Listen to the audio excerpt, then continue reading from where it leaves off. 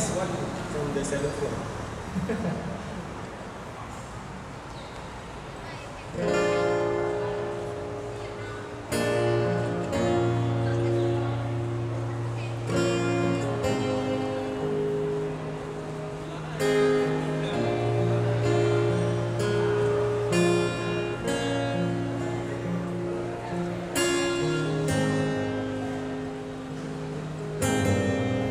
same bed, but it feels just a little bit bigger now.